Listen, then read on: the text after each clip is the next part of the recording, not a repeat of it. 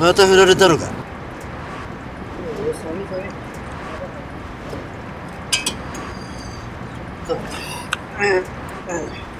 でかみ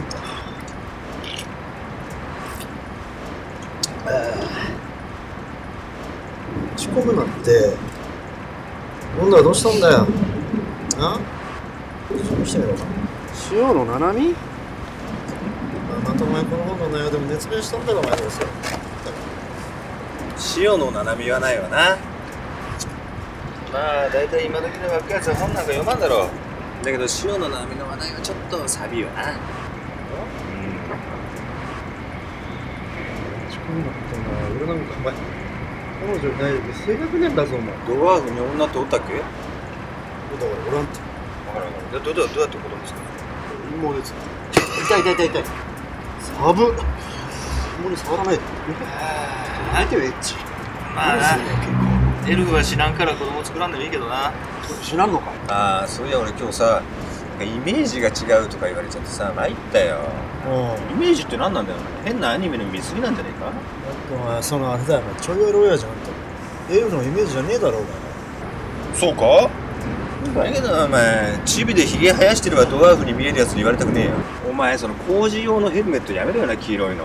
お前お前お前それだお前それでその何ケンスコそれ持ってたらお前ただの肉体労働者だぞ。お前お前こそそのジャージどこで手に入れえ？るエルフならエルフらしくしろよな。どこユニクロで？そのエルフらしくっていうのが気に入らないんだよな俺は。大体よ人間に人間らしくしろっていうのおかしいだろ？な？猫に猫らしくしろっていうのが変じゃん。それと同じようにエルフにもいろいろあるわけよ。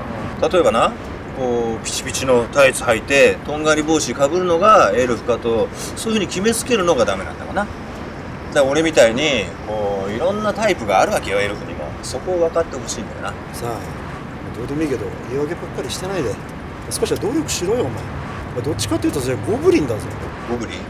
お前みたいに影の薄いやつに言われたくねえな。あ影が薄いって言えばよオスのシシャモも影が薄いな。おおそういえばシシャモって言えばさ、うん。この辺のスーパーで売ってる前シシャモってのは実は本当のシシャモじゃないんだって。そうなの。うん。なんかねドンペリっていう北欧産の魚らしいんだよ。ドンペリじゃなくてカペリンだろあ知ったかぶりするなよ。うっせえのドワーフは魚食わねえんだよ。好きドデカミンだから。好き嫌いするのやめなさいよ。食わねえよ。お母さんに言われなかったかお前。言われてお母さんなんかいねえけど陰謀でも何飲んでんのドデカミンドデカミドデカミ飲めるな。やいや。ここはブラックでしょ？わけのわからないこと言ってんだよ。エルフらしくしろ？っつってんだよ。だからそのらしくっていうのが嫌なの。例えばさ今日電車に乗ってたらさ、なんかあの広告にアーティストのアーティストによる空間作りってのがあったんだけど。あれ意味がわかんねえんだ。俺がバカだから。なお前は確かにターゲだけどよ。あアーティストのアーティストなのかそれ確かにエルフ語に訳しても訳せんな。訳せない訳すとしたらまあ人気の人間ちゃん誰や誰やそんな感じになるよな。まあ大体日本も今おかしいよな。日本語もおかしいし名古屋弁もなくなっちゃったからさ。名古屋の人間が標準語しゃべるようじゃ終わりなわけよ。ところでお前携帯の絵文字って知ってる？俺携帯意味ねなんで？どこあそうかそうか。そうかそうか。あそういや稽古の携帯鳴ってるとこ見たことないな友達いるの？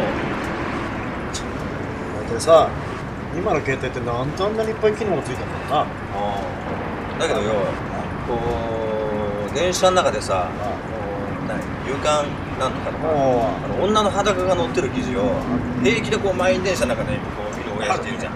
あれってさやっぱアメリカの人から見ると全然おかしいらしいよ。まあ日本人はやっぱりな。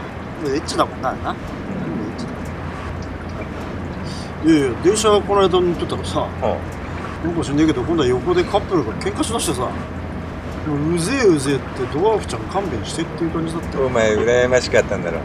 自分に言ってんだろうがほら。恋人もおらんくせによ。自分に言ってんだろうが。どうせお前寂しいクリスマス過ごしたんだろ。俺仏教嘘。俺も仏教。マジで違ったね。おおよかったよかった。どうもどうもいいよな仏教。いや仏教いいよね。な今日はいいよ。いや大体さリスマスにカップルでイチャつく必要があるのか。家族と過ごすのがクリスマスの使い方っちゅうもんなアメリカンだね。のまあでもな想像してみろよ。日本人の若者がケーキ買って田舎に帰って家族と一緒に過ごす。でもちょっとなんか日本には合わんような気がしん？うん何かなまあそうか。もけど次はバレンタインだな。お前間違ってもチョコ作るなんてボケで走るのバレンタインもさ本当は日本だと菓子屋の策略で女が男にチョコをあげるようになってるけど正しくは男が女にプレゼントするのが正しいらしいよ。だからお前なんかもらわなきゃいけないどっちにしてもさうん。彼女がいなければさ同じことに変えバレンタインか。はあしかしさこうやってなんか3人で座っててさなんか俺たちドリフみたいじゃん。ズンチャッチャーズンチャッチみたいな。いや鍋でも落ちてくるかな。おいちょっとお前離れろ。よちょっと。そうやなお前メットかぶってから鍋落ちてきてもいいけどうえな。お前お前白髪なんだよ。うせえよなんかちゃんこ鍋でも作れよ。僕にしてるちゃんこ鍋食わねえんだよ。ドアが魚食わねえんだって。ちゃんこ肉ちゃんこにする。ちゃんこ肉はまあ食うけどな。お前料理できるの？あできる。本当かよ。うん。マジかそうかできるのか振られてもできねえだろうな。痛て。ああ。